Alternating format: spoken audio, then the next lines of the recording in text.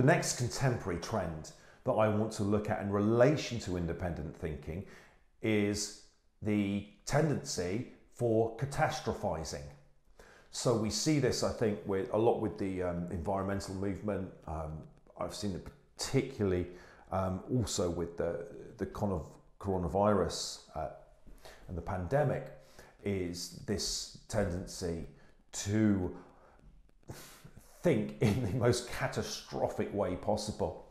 Um, I think you know we all have a, a tendency towards the dramatic. Um, we can be very over dramatic and somewhat uh, paranoid sometimes. That's just being human. And we kind of approach, sometimes approach uh, the future as, as, as if it's a threat, and that distorts our uh, critical and analytical um, aspects of our independent thinking. Catastrophizing or catastrophic thinking is a peculiar kind of threat to independent thinking because, again, it appears like it is itself independent thinking.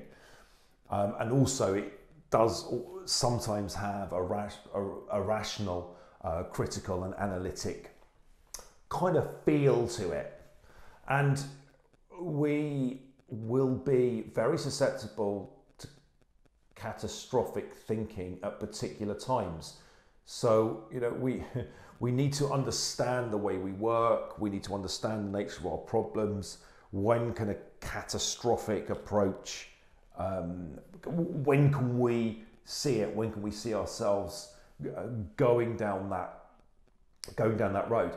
And we need to flag it up early on, okay? And we need to ask those cool, um, cool, rational questions about our problem without going off into this emotional roller coaster, uh, an explosion of catastrophizing, because that's what it is. I think it's the it, it is um, a uncontrolled, almost emotional reaction that is dressed up in rationality. And again, that's that's why it's a threat to independent thought. So let's beware of the catastrophic tendency.